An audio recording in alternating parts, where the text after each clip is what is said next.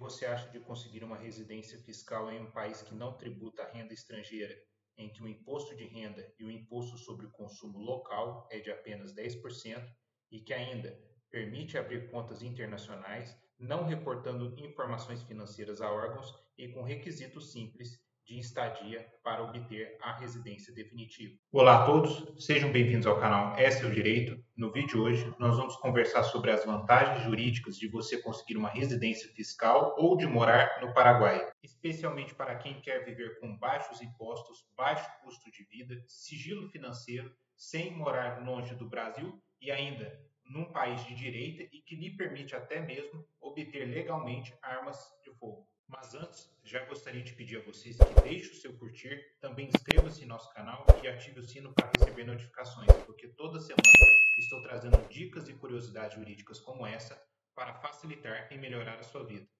E para quem quer começar a viajar para fora do Brasil ou até mesmo viver a teoria das bandeiras, eu já fiz um vídeo aqui no canal ensinando como vocês podem pedir o passaporte online de vocês em poucos minutos. Vou deixar um card aqui na tela para vocês assistirem. E pessoal, queria começar a comentar com vocês sobre o sistema tributário no Paraguai, como que funciona. Bem diferente aqui do Brasil, lá o sistema de tributação ele é territorial, isto é, somente a renda obtida dentro do país é tributada. Assim, toda a renda estrangeira é isenta de impostos. Perfeito para você que recebe aluguéis aqui no Brasil, a sua aposentadoria, ou então alguma receita com dividendos ou outros proventos. Mesmo que você tenha uma renda local, que você ganhe dinheiro lá no Paraguai, a tributação não é especialmente problemática graças a uma taxa de 10% de imposto em quase todos os escalões de renda. Então, o máximo que vocês vão pagar é um imposto de renda de 10%.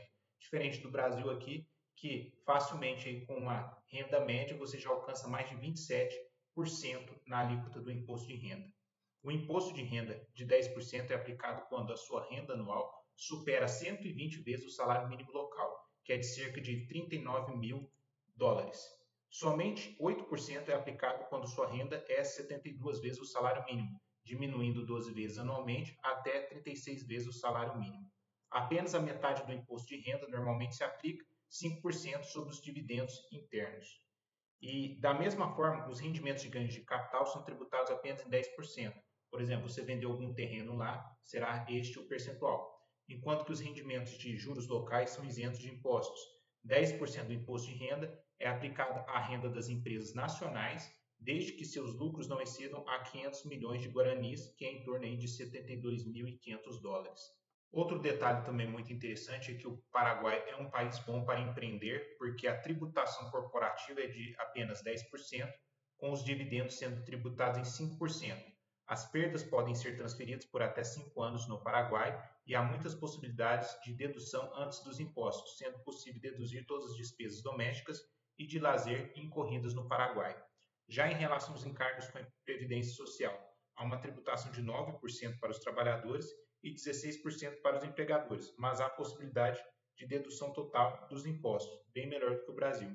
Não há impostos sobre heranças ou doações, perfeito aí para quem quer poder viver com a sua família, mas há 10% de IVA, que é um imposto lá sobre o valor agregado no consumo. Entretanto, você pode viver no Paraguai completamente livre de impostos se você for um empreendedor, um investidor e não estiver amarrado em nenhum lugar. E agora, indo direto ao ponto, sobre as condições e custos de residência no Paraguai. O Paraguai está entre alguns dos países onde é mais fácil obter residência em todo o mundo, diferente de muitos outros locais em que vocês vão precisar de um contrato de aluguel pelo menos ativo ou ainda comprovar altos investimentos no país, no Paraguai é muito simples cumprir esses requisitos. Inicialmente obtida uma residência temporária, esta é válida por dois anos. Chegando à data da expiração, aí é preciso ir novamente ao Paraguai para solicitar a conversão na residência permanente. A residência permanente no Paraguai é válida por três anos, havendo ainda a possibilidade de renovação. Atualmente não é imposta uma estadia mínima, não sendo obrigatório possuir ou alugar moradia, como eu já disse, o que reduz consideravelmente as despesas. Processando tudo, o valor total dos honorários e custo do processo de residência no Paraguai chegam mais ou menos a 1.600 dólares por pessoa. Inclusive, se vocês precisam desse serviço de intermediação, eu recomendo a SET. Vou deixar o link na descrição e no comentário fixado do vídeo para vocês, em que eles vão ajudar vocês nesse processo. Eles têm também um processo de residência acelerada aí para quem precisa de um plano B com mais urgência, vou deixar aí para vocês. E finalmente, para vocês formalizar a residência no Paraguai, é muito simples. Para vocês conseguirem a residência fiscal, vocês vão precisar da certidão de nascimento original e legalizada de vocês aqui no Brasil, a certidão de casamento ou divórcio original e legalizada, se for o caso, e também um certificado, um atestado de antecedentes criminais da Polícia Federal. Inclusive, já fiz vídeo aqui no canal, eu vou deixar aí também o card para vocês na tela. E vocês podem obter ainda outros documentos, como a certificação do passaporte, cartão de saúde, fotografias, o certificado da Interpol e outros localmente no Paraguai. E não é necessário realizar a tradução juramentada de documentos em espanhol ou português, o que facilita muito a vida dos brasileiros. Basicamente, pessoal, é isso que eu tinha a dizer a vocês. Se vocês gostaram do vídeo, não se esqueça de curtir, também de se inscrever no nosso canal e de ativar o sino para receber notificações.